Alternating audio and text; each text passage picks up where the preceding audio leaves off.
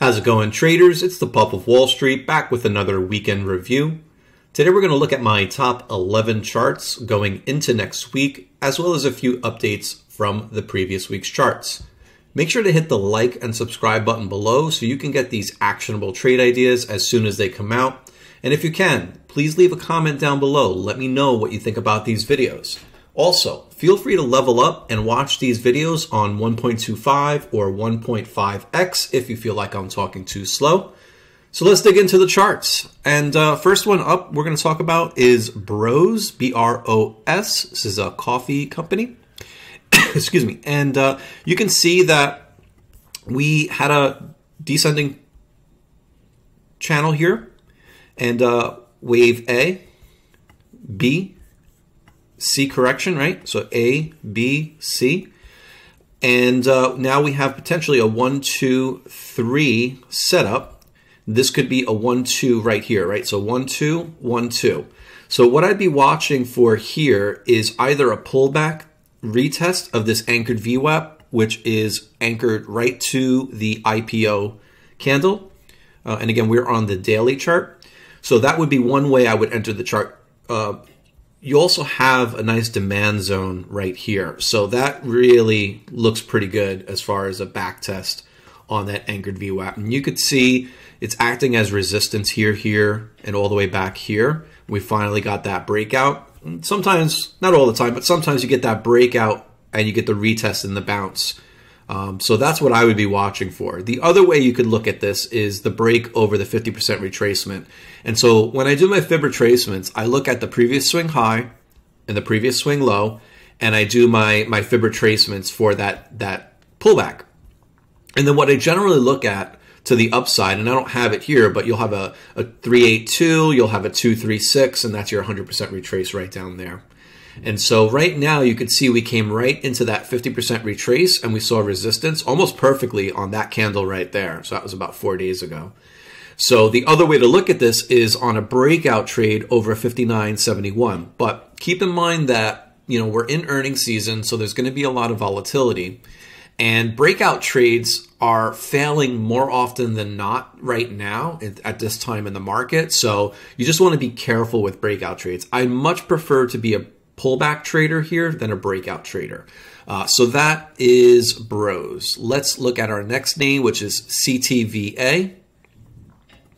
So this is a new name here. We have a cup, we have a handle, and we have a cup and handle breakout right here. You can see previous resistance on $50 right back here. Uh, we came close to it here, but got rejected. Uh, lower high, and now a higher low, and now another higher, um, excuse me, higher high, and another higher high. So we did get our breakout here at 50, but it's really only, you know, 36 cents over. What I would watch for, again, similar to the last play, watch for the bounce, watch for the back test and bounce. I call this the BRB. It's like the B right back, but it's the breakout, retest, bounce. That's what I'm looking for. Ultimately, I feel like if we hold 50, you know, this week, maybe early this week, then I would be testing or targeting 5268, which is our 1272 extension off of this high and that low.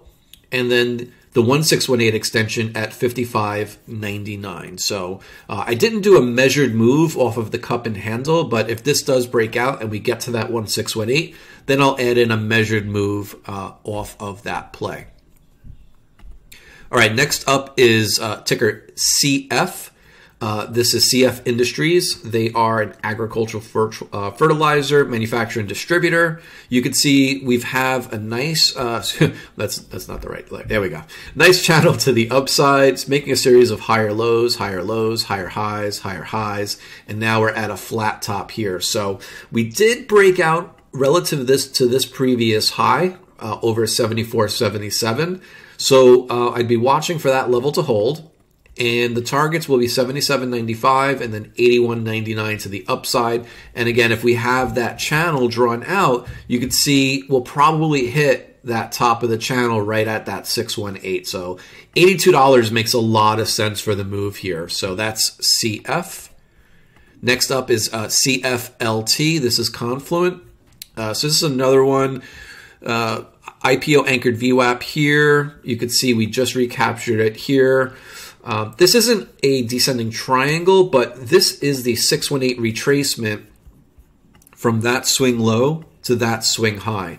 And so when we have a move up like this, and to me this looks very much like like a one, two, three, four, five in our potential wave one, and now we have an A, B, C retracement. So what I'd be watching for is a break over 69.41 or a back test and hold of 59.61. Uh, this is, I'm looking at this a little more longer term. Uh, so this isn't necessarily like a swing trade or a day trade, but I'm looking for an ideal entry for a longer term trade over 69.41. Again, so that's CFLT. Next up is Datadog, ticker DDOG. So I've been watching Datadog for quite some time now, and uh, we had a beautiful back test right into that 200 SMA here on the daily chart. And again, another A, B, C retracement, and potentially a 1 2 setup. So I really like this trade. Now, obviously, I want to see this over 150. We're over, we closed at 150.31, but you can see we had some upper wicks here. So selling pressure is trying to push us down. But as we anchor to our previous swing low, you can see we're in a pretty good demand zone right here. And so once we start to clear this demand zone, we should start testing 159 to 169.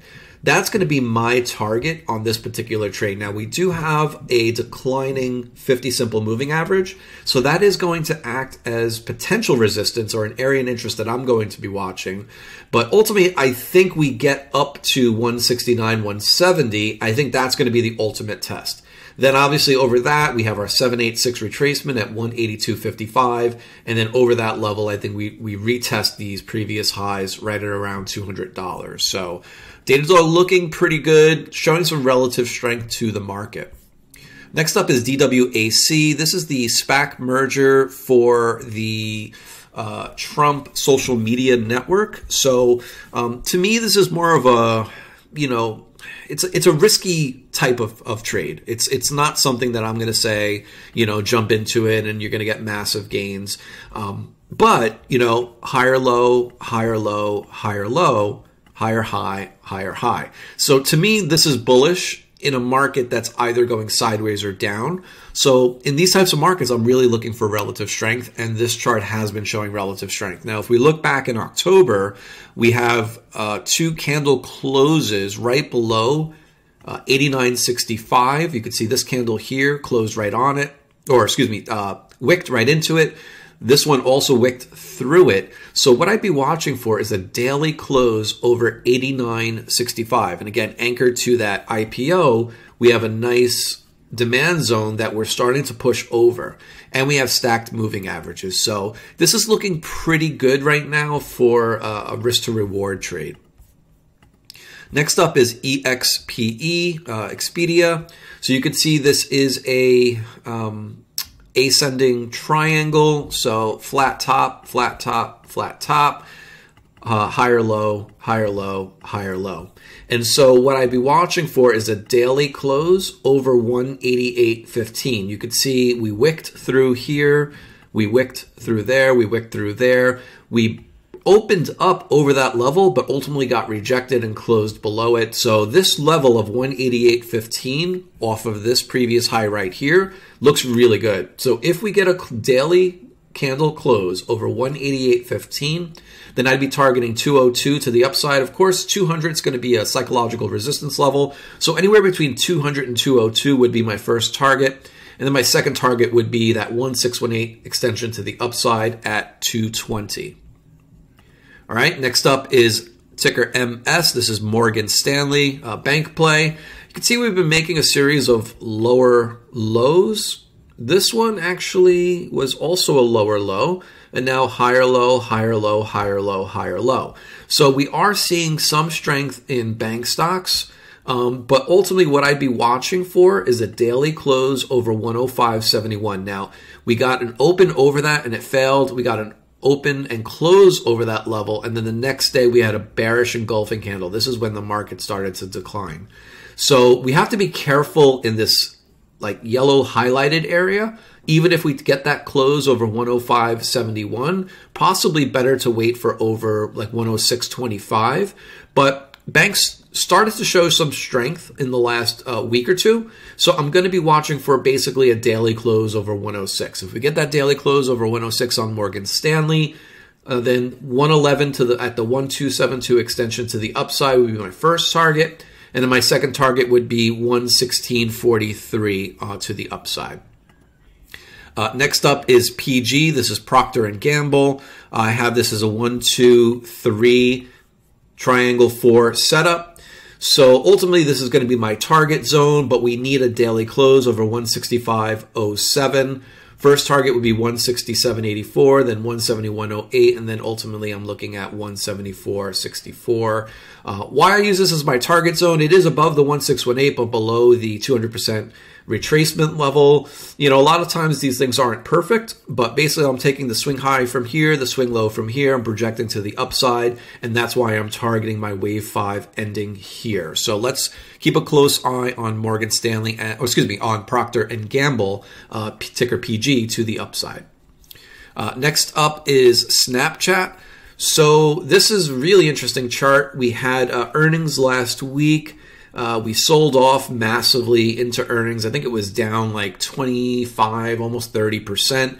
Then we had a massive bullish engulfing that next day. I think almost like 60% gain on that day. And then Friday, we kind of had a spinning top right at this downtrend line. So what the way I see this is a one, two, three, four, five to the downside. So what I'm watching for can we get over this swing low anchored VWAP here right at around $40? If we can, then I would be targeting 47, 54, 61 to the upside. 61 being that 618 retracement. Now, I don't think we get there fast because we have this uh, supply zone up above. And so whenever we get into that supply zone, think about it. If buyers, you know, entered Snap here and they're holding, then they're in a lot of pain. That they're almost down like 50% from from buying up here. So what happens is from a psychological standpoint, when price gets back into the zone, these guys here are going to say, huh, I'm now finally break even after being down, you know, 30 to 50%. So I'm just going to cut my losses or cut my cut my trade at a at a break even. And so what winds up happening is you get consolidation into the supply zone. So that's what I would be watching if you're already in Snap watch for resistance in the 47 to 54 range. And of course, you have $50, nice psychological resistance uh, or psychological uh, area of interest uh, at that point there too. So keeping an eye on Snapchat to the upside. And the uh, last ticker that I'll be going over, ticker number 11, is UPS obviously a transport. So you could see back here, 219.84 has uh, been acting as resistance since we made an all-time high there. We had two wicks coming into the level there. We had a wick coming into the level there. And finally, we did break out. And so, um, what I would be watching for, so you had two inside days off of that candle. Now we're moved to the downside. Um, this was a uh, anchored VWAP to the breakout candle. We back tested and held it there. So I'd be watching for two things. Do we get a back test of 220 and a bounce? Or do we get a break back over this 1272 extension from that swing high to that swing low at 227? And then we have a, a, larger 1272 extension at 231 from that swing high to that swing low. So this area right here is going to be contentious area, 227 to 231. So going to watch what UPS does this coming week. Now, this brings me into some previous trades that I wanted to just uh, touch back on that are uh, looking pretty good to the upside. So we had Vale, ticker V-A-L-E, uh, at a breakout entry of 1582.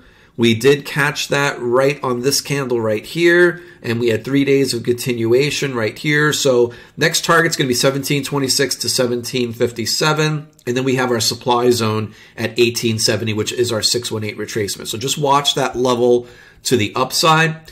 Next ticker is ticker AA. This is uh, Alcoa. Uh, I did have this on a breakout of 62.58. We got that exactly there with one day of continuation. My target's going to be 67.82 and possibly uh, 73.61, depending on how quickly this moves, because we have a broadening formation. So with the broadening formation, we have a series of lower lows and a series of higher highs. And so you get this broadening formation here. Uh, and so generally you get five touches. So you have one, two, three, four, and I'm looking for that fifth touch somewhere up here. And again, this could move slow. And so the slower it moves, the more chance we have, I think, for it to move up to the 73.61 level. So just watch that if you did enter the trade. And then last but not least is Raytheon, ticker RTX. I did have a breakout entry over 92, uh, excuse me, 92.34. And we did just break out uh, on Thursday, spinning top, but held that level on Friday. And why I like this trade uh, it is a defense contractor, and there's a lot of noise right now in Eastern Europe. And of course, don't want to see anything uh, come of it. But if something does, then defense contractors tend to move in in times of of turmoil. So don't want to see war, don't want to see conflict, but we have to look at the market objectively and understand where money is going to flow based on you know macro events. So that is my weekend review. Again, that's 11 charts with three stock reviews. Uh, please, again, if you can, like and subscribe to my channel. Like this chart, or excuse me, like this uh, video. Subscribe to my channel if you found this informative. And if you can, please leave a comment below. Uh, it really does help with the algorithm. So thank you again for being with me here on Sunday. Good luck in the markets next week, and uh, I'll see you out there.